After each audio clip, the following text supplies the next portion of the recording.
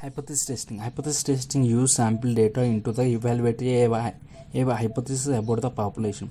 There are two types of hypothesis testing. First one is null hypothesis testing is always there is no difference. It is denoted H naught, A equal, example A equal to P.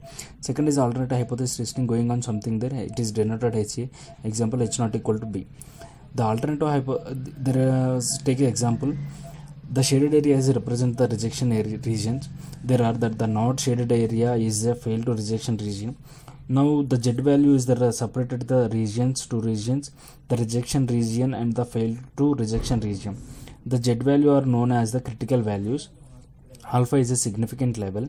C is a 0.95 c is equal to 1 minus alpha the alpha is a split into two regions within the area of 0.025 now order to determine the whether a should rejection or not rejection or null hypothesis. To calculate the z value compared to the z value this is going to be associated with the z test statistic.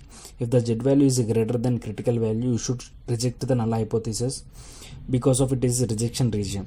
If the z value is not initiated with the region you should not reject the null hypothesis. You should keep it